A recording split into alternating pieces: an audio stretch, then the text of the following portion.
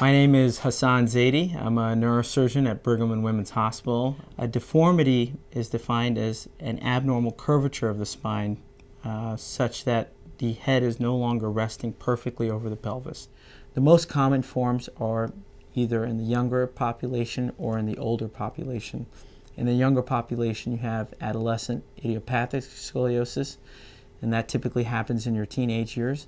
And the older population, you have adult degenerative scoliosis, and that is probably the most common form of scoliosis.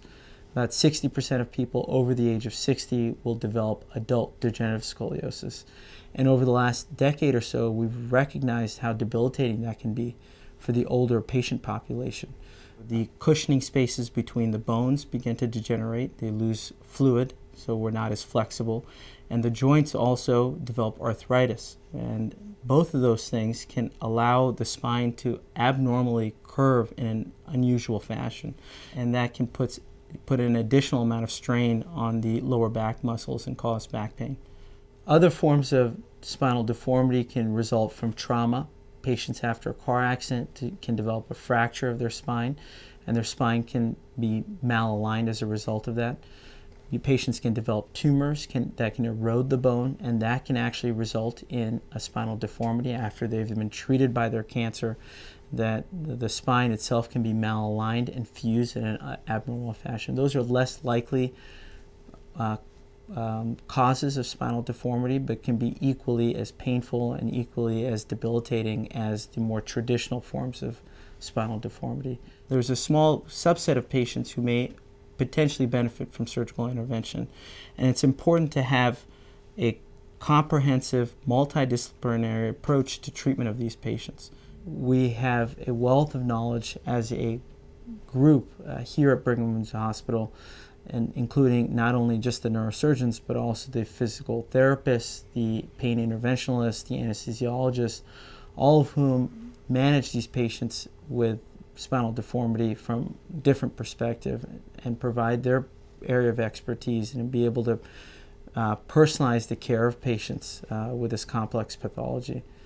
We sit down as a team and discuss each and every patient's case individually and try and glean from experts in a variety of different subspecialties to try to understand what is the best management plan for this particular patient given their age, their history, their medical issues that they may be having, and in particular their symptoms. You know, um, some symptoms are best treated with intervention, pain intervention, and some symptoms and radiographic findings are best managed with surgical intervention. The spine is a very complex structure containing both bone, ligaments, spinal cord, and nerves, all of which can be affected. We found now over the course of the last decade that smaller procedures can have a much bigger impact on the overall alignment of the spine and allow us to realign the spine without having to do much bigger and invasive surgeries. We can rely on what's called the GPS of the spine, navigation tools that allow us to be able to place hardware very safely while minimizing the incision size and minimizing the trauma to the surrounding normal tissue.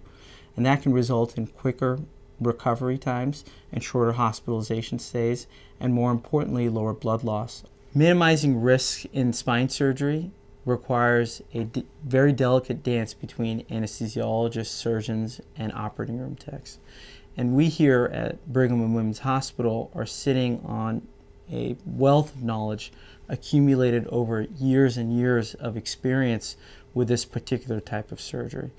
The future of this field, in my opinion, really is going to be driven by the new tools and technology that we have available to us. Robots are actually being developed to be able to um, place hardware without the need for a surgeon to actually touch a patient. We'll be able to use robots to be able to safely place hardware in the spine and be able to correct spinal deformity. But it's really a stepping stone uh, um, to be able to make surgery a little bit safer, a little bit more uh, reproducible, and a little bit more reliable in terms of standardize, standardizing the outcomes for patients in the future.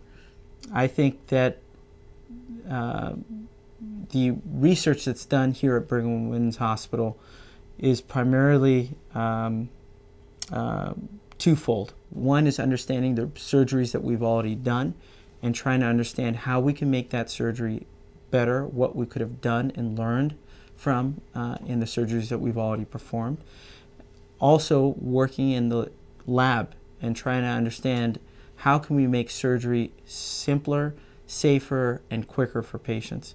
And a lot of that requires uh, development of new tools and technology, and that simply can only be done by sitting with engineers and thinking about problems from both a medical and engineering perspective.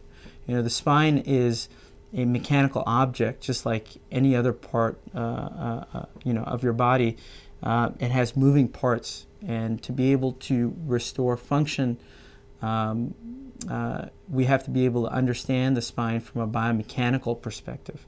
We have to see how the spine moves as a result of the interventions that we perform, and we have to try and provide a much more natural movement of the spine and natural um, uh, uh, configure, restore the natural configuration of the spine. At Brigham Women's Hospital, our goal is to try and get patients back to doing the things that they enjoy, whether it be playing catch with their son or being high performance athletes or simply just walking down the street with minimal pain.